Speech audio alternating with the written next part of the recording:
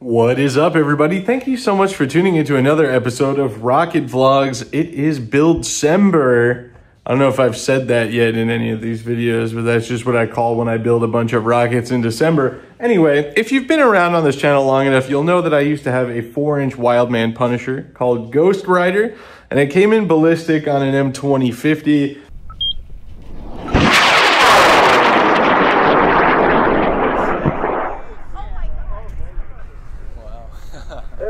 Ever so slightly cold. Because of a stupid decision I made. We don't have to rehash that. All that's important here is that last year, or no, earlier this year, my lovely boss, Eric, uh, sent me a four inch Punisher kit after my three inch one got destroyed um, because he felt bad for me. So, I graciously paid back his generosity by letting it sit for almost a year before I built it. But now it's finally time, and I'm gonna do things a little bit different. Because, for one, I just watched Joe Barnard's video about bonding composites and epoxy and bonding prep. And, you know, everything I know and have spieled about over years is now called into question. So, why not shake things up a little bit? And also, if you watch my channel, you'll know that I am sort of a hater of internal fillets in high power rocketry. But a friend of mine who's an actual engineer and is actually way smarter than me suggested that the internal fillets are actually more important than the external ones because you're dealing with the weakened structure of the tube once there's fin slots in. So the external fillets aren't mounted to as sturdy an object as the motor tube that doesn't have holes in it. So my Patriot that I'm looking at off camera here uh, might just be garbage because that one has no internal fillets. What we're gonna do is a little bit of the hard opposite with this four inch Punisher. I'm going to make super beefy internal fillets and the externals will be almost nothing but aesthetic. So I'm not gonna explain to you how I'm doing that yet. Instead, you just get to watch. Thanks for tuning into a Rocket Vlogs video. Uh, let's build a Wildman 4-inch Punisher for the second time in this channel's history. I just sanded everything without recording any of it. Like the camera was up there, nothing happened. Anyway, we're so back, dude. It has been a while since I've built a really fast, high-performance rocket with CA tack things together, and inevitably that's going to bring out somebody who calls that into question. So while I get things set up for gluing, I'm gonna play a little clip from my last four inch, well, it's from my five inch Punisher build, but it was my last four inch Punisher where I made the point that this doesn't matter. Effectively, we're ruling out that joint by the time we have internal fillets done because we're creating one structural piece from ring to ring from the fin to the motor tube. So effectively, we're making this all one big unit. So the joints with the motor tube to the centering ring with CA and the fins to the motor tube with CA are going to be overruled by the fact that epoxy is going to be attaching everything. Let me give you an example. This is the fin can for my 4-inch Punisher, which uh, if you guys watch my videos, you recall an Argonia on its way down, the nose cone clocked the fin hard enough to completely destroy the leading edge of the fiberglass, but the fin is still solid, and if that's not convincing enough for you, we'll even take it a step further, huh? See that? It needs repainted anyway, don't worry. One big piece. Any more questions? No? Good.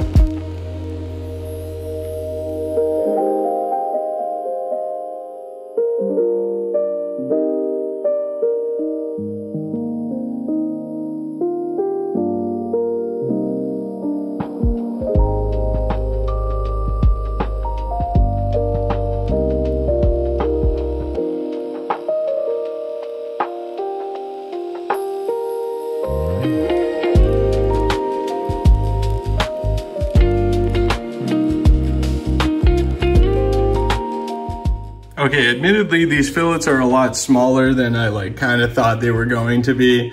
I didn't really think about it before much that, you know, it's a four inch rocket with a three inch hole. Also, I started recording and I flipped the little phone mount up and then stopped recording. So sorry you missed the entire fillet making process here. Rockets are so fun.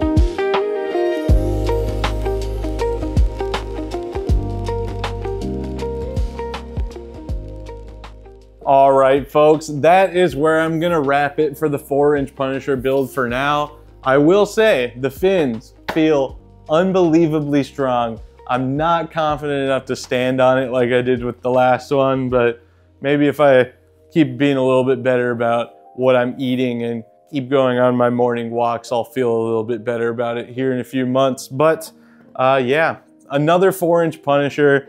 I'm so super excited about this. And truth be told, I didn't get nearly as far into this rocket or nearly as far into that build pile behind me as I wanted to for Buildcember. But if I am completely truthful with you, I just don't think it's worth the stress for me to try and be continuously posting a bunch of videos or just like really crack through a whole bunch of builds just because the rockets are there and need to get built. It's just a lot of effort and a lot of stuff and trying to have that many irons in the fire at once is just not fun, to be honest with you. And what is the point of any of this if I'm not having fun?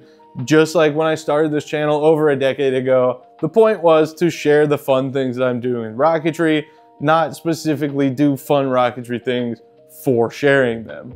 Because then it starts to feel like a job, and jobs aren't fun. So that's where I'm hanging it. But that actually gives us a good opportunity here because I have a couple more things I'm gonna do for this. One, I'm going to cut the tube down. um, I just need it to look right. If you know my channel, you know I'm kind of locked in on Punishers, especially being the right length.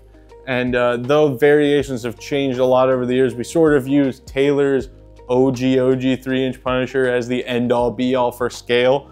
And technically this should be, I think it's like 43 inches, but I'm not willing to sacrifice fitting my beloved AMW 75-7600 case in here. So I'm going to cut the tube down to 45 and then this coupler is hilariously long.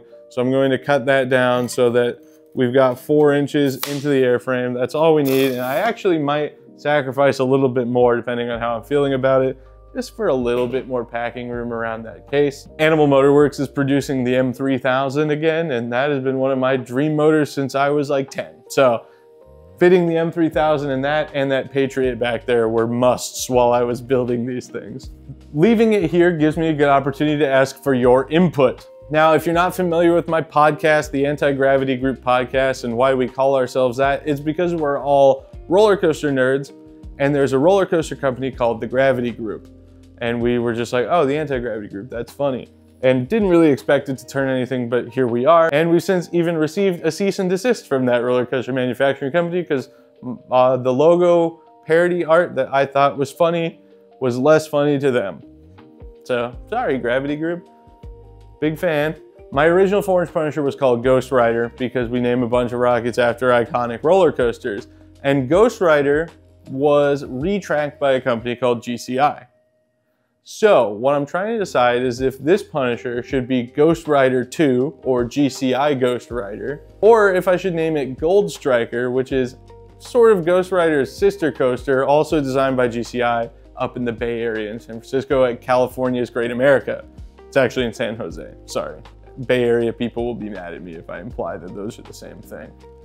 Um, I'm really leaning towards Gold Striker and then doing another like super striking, really metallic gold paint job on this thing. But if I put a big M motor in it, it's probably just gonna burn the paint off and I don't want to have to do it over and over. So maybe I do that and then use some really high temp clear.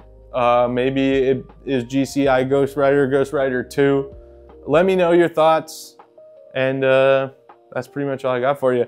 Thank you so much for tuning in to another episode of Rocket Vlogs. Big shout out to my Patreon supporters and channel members whose names are scrolling across the screen right now. If you want to see behind the scenes pictures, videos, and content, early releases, and ad-free releases, go to patreon.com slash rocketvlogs or press the join button below this video. My name is Braden Carlson. We just started building a four inch Punisher. You watched a Rocket Vlogs video and I will see you all next time.